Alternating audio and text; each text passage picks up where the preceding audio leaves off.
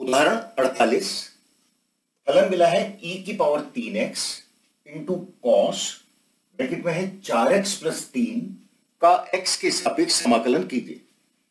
समाकलन को हम i के बराबर मान लेते हैं।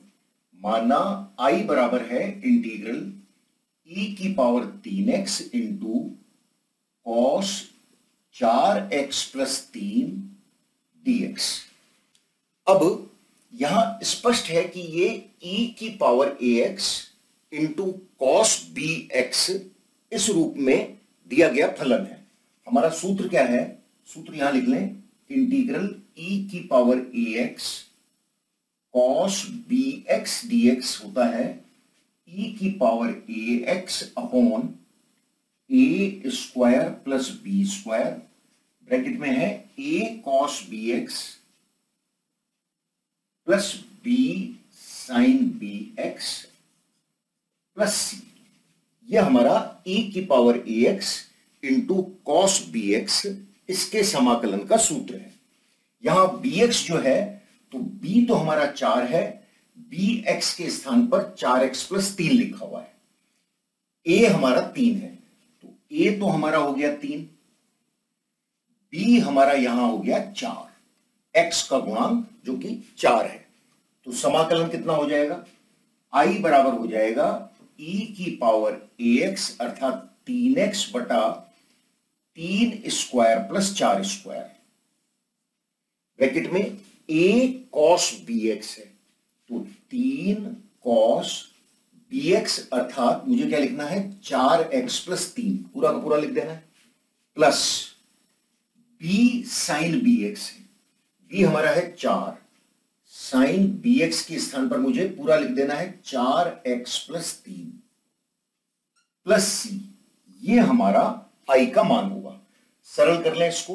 तो तीन का स्क्वायर हो गया नौ, चार का स्क्वायर हो गया सोलह। नौ और सोलह हो गया पच्चीस। मान हो गया ई की पावर तीन एक्स बटा पच्चीस। तीन कॉस चार एक्स प्लस पाँच। प्लस चार साइन चार एक्स प्लस पाँच प्लस तीन, यहाँ तीन है प्लस सी ये हमारा आई का अभिष्ट मान होगा। उदाहरण उनचास, निम्नलिखित फलनों का एक्स के सापेक्ष समाकलन कीजिए। तीन प्रश्न यहाँ हमें मिले हैं। पहले प्रश्न में हमें फलन मिला है under root x square plus दो एक्स प्लस पाँच। समाकलन को आई के बराबर मान लें। माना आई बराबर है under root x square plus दो एक्स प्लस पाँच। इंटीग्रल डी एक्स यह हमारा आई है। अब हमें जो अंडर रूट के नीचे लिखा है, इसे मानक सूत्र में ले जाने के लिए पूर्ण वर्ग का रूप देना है। पूर्ण वर्ग का रूप देते हैं, ये हो गया इंटीग्रल अंडर रूट एक्स का होल स्क्वायर प्लस दो इंटू एक्स इंटू एक करना पड़ेगा तो एक का स्क्वायर हमने इसमें जोड़ दिया। प्लस पाँच यहाँ एज इट इज़ ले लिया, एक का स्क्वायर हमने घटा दिया। कितना डीएक्स ये हमारा आई का मान होगा। यहाँ से यहाँ तक हमें अब एक पूर्ण वर्ग मिल रहा है। ये हो गया integral under root x plus एक का होल स्क्वायर पाँच माइनस एक हो गया चार, अर्थात दो का स्क्वायर डीएक्स ये हमें मिल गया। अब हम अपने मानक सूत्र को देखते हैं। हमारा सूत्र है integral under root x square plus a square d x ये होता है x upon two under root x square plus a square plus a square upon two log modulus x plus under root x square plus a square plus c ये हमारा मानक सूत्र है। इस मानक सूत्र में इसको रख दें तो मान कितना हो जाएगा? मान हो जाएगा x plus one upon two वहाँ एक्स अपॉन टू है, यहाँ एक्स प्लस वन है। X plus one upon two under root x square plus a square तो ये मान हमने यहीं से प्राप्त किया तो इसको डायरेक्टली लिख सकते हैं। ये मैंने डायरेक्टली लिख दिया एक्स स्क्वायर प्लस दो एक्स प्लस पाँच plus a square upon two a square हमारा कितना है? चार। चार अपॉन दो तो मान कितना हो जाएगा? दो। लॉग मोडुलस अब यहाँ पर है x प्लस एक्स के स्थान पर मुझे x प्लस वन लिखना है। X plus one plus under root यहाँ है x square plus a square तो ये मान है x square plus a square जो यहाँ से आया है तो मैं डायरेक्टली यही मान लिख दूँ।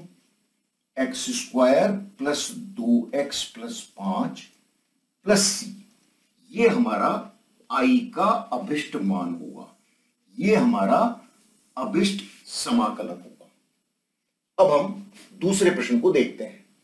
दूसरे प्रश्न में हम क्या पाते हैं? पुनः इसे पूर्ण वर्ग का रूप बनाना है। तो मैं इसको तो मिटा देता हूँ और इसको पूर्ण वर्ग का रूप बनाता हूँ। समाकलन को आई के बराबर मान लें। माना आई बराबर है इंटीग्रल अंडर रूट तीन माइनस दो x minus x square d x पूर्ण वर्ग का रूप बनाना है। ताकि हम मानक सूत्र का प्रयोग कर सकें। तो तीन माइनस दो एक्स माइनस एक्स स्क्वायर, ये हमें यहाँ फलन मिला है जो कि अंडर रूट के नीचे है। माइनस कॉमन ले लिया। अंदर क्या बचेगा? एक्स स्क्वायर प्लस दो एक्स माइनस तीन। माइनस बाहर है। एक्स का होल स्क्वायर प्लस दो इंटू एक, दो इंटू एक्स इंटू एक। एक का स्क्वायर हमने जोड़ दिया। माइनस तीन लिखा, एक का स्क्वायर हमने घटा दिया। इस प्रकार से हमें प्राप्त हुआ। अब देखो, यहाँ यहाँ से और यहाँ तक तो पूर्ण वर्ग बन रहा है। ये तो हो गया माइनस एक्स प्लस एक का होल स्क्वायर माइनस एक, माइनस तीन, माइनस एक तो माइनस चार, अर्थात माइनस दो का स्क्वायर ये क्या प्राप्त हुआ? जब माइनस से मल्टीप्लाई हुआ दो का स्क्वायर माइनस एक्स प्लस एक का स्क्वायर। ये हमें प्राप्त हुआ। इस मान को यहाँ लिख दें। आई बराबर क्या हो गया? इंटीग्रल अंडर रूट दो स्क्वायर माइनस एक्स प्लस एक का स्क्वायर डी एक्स ये हमारा अब मानक सूत्र के रूप में मानक सूत्र का अब हम यहाँ पे प्रयोग कर सकते हैं। प्रश्न को इस हमने इस रूप में प्राप्त कर लिया है। मानक सूत्र लिखते हैं। Integral under root a square minus x square d x ये इस रूप में है। ए के स्थान पर क्या है? दो है। मान क्या होता है? X upon two under root a square minus x square plus a square upon two sine inverse x upon a plus ये हमारा मानक सूत्र है। मान रख दिया। एक्स अपॉन टू तो यहाँ क्या लिखना पड़ेगा मुझे? एक्स प्लस एक एक्स प्लस एक अपॉन टू यहाँ से इसको मिटा सकते हैं एक्स प्लस एक अपॉन दो into under root a square minus x square जो कि हमारा ये है। ये हमने इसी से प्राप्त किया है तो डायरेक्टली मैं यही लिख दू। तीन माइनस दो x minus x square plus a square upon two a square हमारा है चार. चार बटे दो हो गया दो. Sine inverse x upon a अर्थात एक्स प्लस एक अपॉन दो प्लस ये हमारा अभिष्ट आई का मान होगा. आई बराबर हो गया एक्स प्लस एक अपॉन दो इंटू अंडर रूट तीन माइनस दो x minus x square plus दो into sine inverse x plus एक अपॉन दो प्लस सी अगला प्रश्न लेते हैं और यहाँ से इसको मिटाते हैं।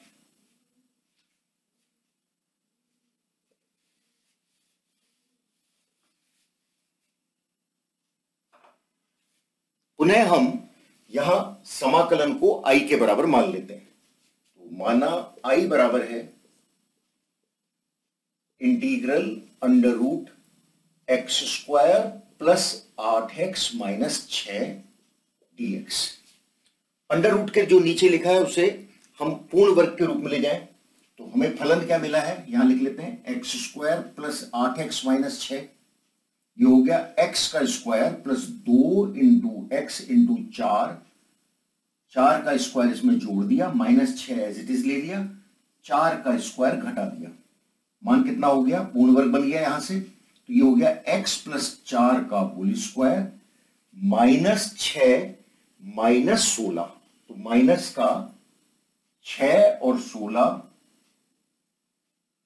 बाईस। अर्थात हम आई को किस प्रकार से लिख सकते हैं? आई का मान हो गया integral under root x plus चार का whole square minus under root बाईस का होल स्क्वायर डीएक्स ऐसा लिख सकते हैं।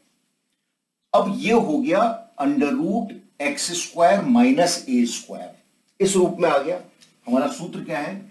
मानक सूत्र है integral under root x square minus a square dx ये होता है x upon two under root x square minus a square minus a square upon two log modulus x plus under root x square minus a square plus ये हमारा मानक सूत्र है। यहाँ देखो, x के स्थान पर लिखा है x प्लस चार। ये हो गया x प्लस चार upon two under root x square minus a square ये है जो हमने इससे ही प्राप्त किया है तो डायरेक्टली ये लिख दू। Into under root x square plus आठ एक्स माइनस छ minus a square upon two a square हमारा कितना है? बाईस है। तो बाईस अपॉन दो यहाँ से इसको मिटा दें।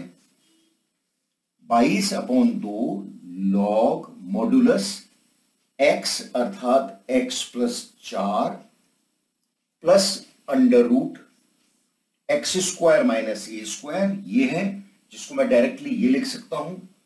एक्स स्क्वायर प्लस आठ है एक्स माइनस छ प्लस ये हमारा मान आया। कैंसिल कर दिया, ये ग्यारह बार आया। तो हो गया मान एक्स प्लस चार बटे दो into under root x square plus आठ एक्स माइनस छ माइनस ग्यारह लॉग मॉडुलस एक्स प्लस चार plus under root x square plus आठ एक्स माइनस छ प्लस सी ये हमारा आई का अभिष्ट समाकलन का मान होगा। तो इन तीन प्रश्नों में हमने इन सूत्रों का प्रयोग किया है। Under root x square plus a square d x x upon two into under root x square plus a square plus a square upon two into log modulus x plus under root x square plus a square plus C होता है। Integral under root a square minus x square dx x upon two under root a square minus x square plus a square upon two sine inverse x upon a plus C होता है। और integral of under root x square minus a square d x x upon two under root x square minus a square minus a square upon two into log modulus x plus under root x square minus a square plus C होता है। इन तीनों सूत्रों को भी हमें मानक सूत्रों के रूप में कंठस्थ करना चाहिए ताकि हम प्रश्नों को कर सकें।